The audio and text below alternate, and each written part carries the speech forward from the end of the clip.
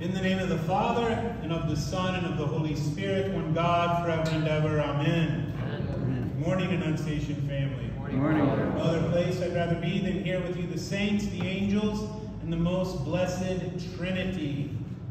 So today, we know this gospel. It's in it's in three of them. It's in Matthew, it's in Mark, and it's also in Luke. And essentially, they are almost all the same. And in this account, friends bring a paralytic on a bed, or maybe today we would say a stretcher. And tradition tells us it was at Peter's home. So they're at the home of Peter.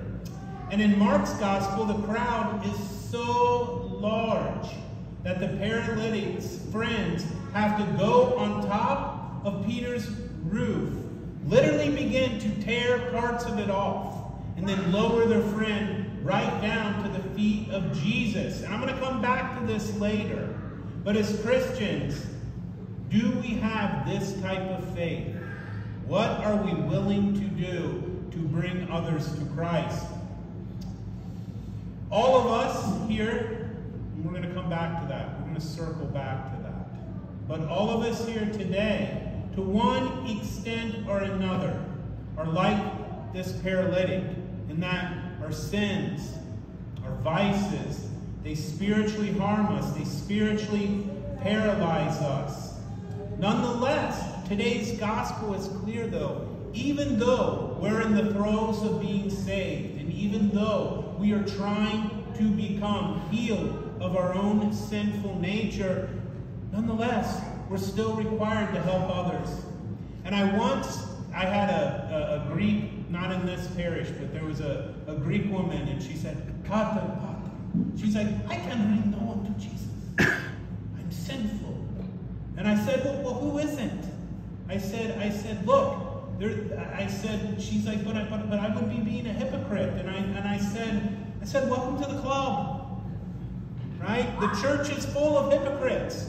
Think about it. How many of us here actually perfectly live out the conclusions of Jesus' teachings?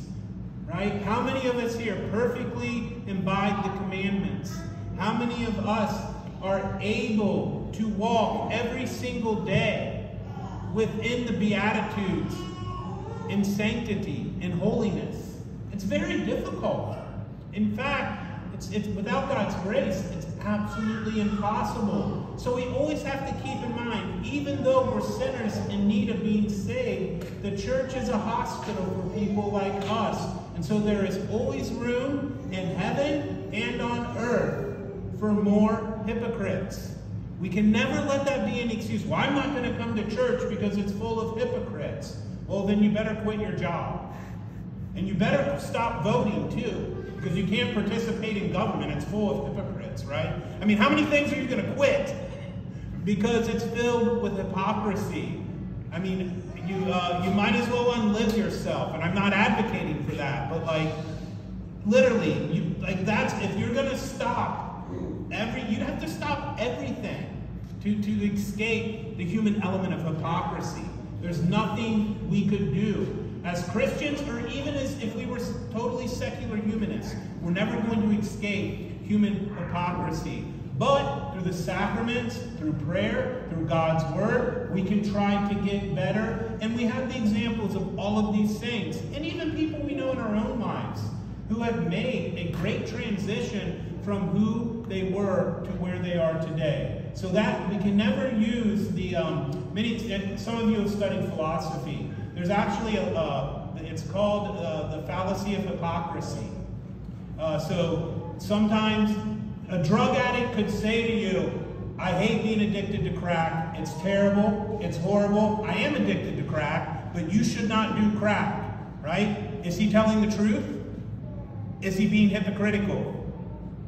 Yeah, he is being hypocritical because he's saying he's actually using a drug, but he's telling you you should not use the drug. Look at me, I'm a perfect example of why you shouldn't do it. So again, to, to say that, you know, I'm not going to come into the church because of hypocrisy, or I'm not going to evangelize others because I'm a hypocrite, that's a fallacy. It really is. Like, you are able to have a certain, we as humans are able to have a certain amount of failure in us, recognize it, know we're struggling with it, and still say, don't do this, right?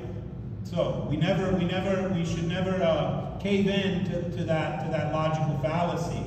So what length are we willing to go to to help others save their souls? Because by virtue of our baptisms, evangelism is a common vocation for all Christians. And for those, and, and, really, it should almost be a way of, of, of, life for us. We should be, be proclaiming the gospel every chance we get by, by, by through our thoughts, through our words, and, and, and through our deeds. Our lives should be an example others. If people will listen to us, by all means, we have to tell them the good news of salvation in Jesus Christ. But even if they won't listen, our lives themselves can be an example to others. If, if, if, if people who are suffering in secular society don't see a certain goodness in us and they know we're Christians, if they don't see joy, if they don't see happiness, if they don't see compassion, if they don't see a certain amount of virtue and, um, and a willingness to not engage with sort of the darker elements of our culture, how will they ever want, how will they ever want to even begin to know Jesus? if they don't see some light in us when they know we're Christians, if we're not any different than our atheistic neighbor, how is our neighbor ever going to be inspired to come to faith? That's, I mean, that's a reality we all should live with. So I think for those of us who love being Christians, um, if we love what we do, we're never going to work a day in our life wanting to bring other people to the, to the, to the most central aspect of our, of, our, of our existence, the pinnacle of it, our, our, our relationship with God, we're going to want to share that with others, and it's not going to be hard. And we're even going to have the courage to do it. And if we don't have the courage to do it, and if we don't have the ability to, to say to people who are suffering, once, once, once there's a good opportunity to, to pray with them and to ask them to come to church and to maybe buy them a Bible and, and you know write a nice letter saying you really need to read this section of the Bible. It can it will help change you, it will make you a better person. You need to meditate because I see you suffering and I love you. Approach people that way. I don't, you know, as Orthodox Christians, we don't necessarily have to be on the street corners holding signs, calling people to repentance. But we certainly must engage the culture around us to try to make it more godly, to bring more joy into people's lives. And that is that we can all do. And I'm not telling you how to do it. There's no textbook way. Here's something this parish does really good, really well. When people come through our doors, we evangelize them. You know, I've been in churches. Why are you here? You're not Greek. You're not Russian. You know, what? What? They have churches for your people. Don't come here. That literally happens in Orthodox churches in America. And it, it's really, I mean, it doesn't happen here, but it, it happens in our metropolis. I've been in a parish like that before, where if you're not Greek, you're a second class citizen, go home. and I was a, I was literally called a Zenny priest, a foreigner. I'm a foreigner priest in my own country, right? We don't do that here. Thanks be to God, you know. Um, and, and there's an actual Greek, you know, we really practice philoxenia. Who knows? I know some of you know. How, what, how does that word? It's a, it's a compound word. Philo meaning love, and xeni, foreigner. So love of a foreigner, love of a stranger philoxenia. How do we translate, translate that usually into English? Huh? Yeah, say it. There's several ways. Go ahead. Yeah, well, I, I know it means being a friend to, or a good host when the person... A good hospitality, yeah. right. A good host. Being a good host. Being hospitable. Being a, uh, loving those in need. Loving those who come through our doors right? We have philoxenia. It's even on the icon out there by uh, Andrei Rublev's Trinity, right? Right behind the candlestand, the Pangari in our church. It said, I think it's Eton philoxenia Abraham, the hospitality of Abraham. Right? So we see it like it's right in, it's right on our iconography, right? So when people come through our doors, we evangelize them through love, through acceptance, through welcoming them, making them feel at home. That's so important in the church. And you guys do a great job of it here. You really do. We do. We're a team, and we, and we do an awesome job. When people come through our doors, we don't say, Why are you here? Most are like, We're happy you're here. What brings you to our parish today? Tell us about yourself. Please come to our Agape Meal Social. Break bread with us. We want to get to know you. And that's why this church is as good as it is. And that's why this church is growing. And that's precisely why other churches are not growing. When we don't do those things, when we don't evangelize through kindness and compassion and, and, and genuine Christian charity when people come through our doors. So I wanted to circle back to the one point where the friends of the paralytic today, they're literally were willing to climb on top of a house, carry their friend up ladders, onto another building potentially, have to get on the roof of St. Peter's home. They start ripping off the rooftop to lower their friend down. Not only to be healed, but to have his sins forgiven. So, what are we willing to do? That's a really good example of what we should be doing to friends, for friends, for family, for those we love. Are we willing to break down barriers? Are we willing to kick down walls?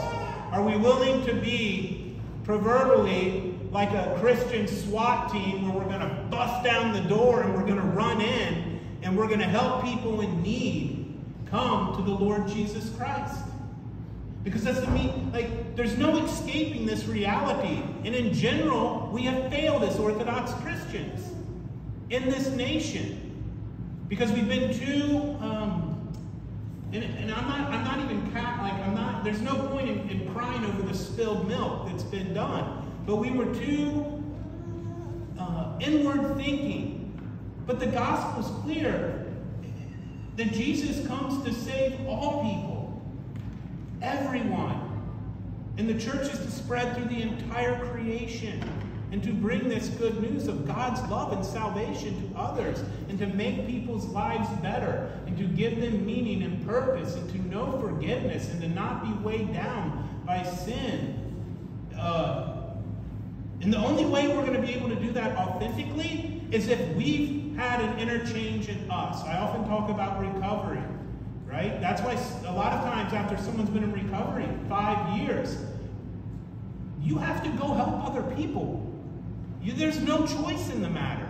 Well, if we're not being changed, if we're not being transfigured, if we're not being renewed in our faith through the God's word, through God's sacraments, through our relationships with others and our, our marriages, well then if we're not deeply convicted of what Jesus Christ has done for us in our lives, then no, we're probably not going to be able to go and give it to another human being.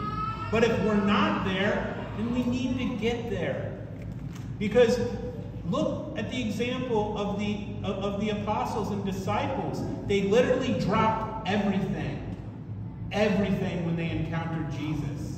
And they went into the Roman pagan world to change it. And guess what? They did. They did change it. So it's amazing what 12 men and, and about 70 other disciples can do to revolutionize the world. Well, brothers and sisters, we're Orthodox Christians, and it's time for us to revolutionize America through our thoughts, through our words, through our deeds, and to break down the barriers and the walls of people who are too afraid or, or their hearts are too hard. Our job is to, is, is to penetrate that and to bring them to Christ and to bring them to God so that they can know love and peace and joy and not to be weighed down and then have true freedom, real freedom. Not freedom to do whatever we want. It's not freedom. The freedom to know I'm free internally from all vice, from all sin, from all the things that plague me and beat me down, and that I can stand with faith and love and honor through the power and almighty forgiveness of our Lord and God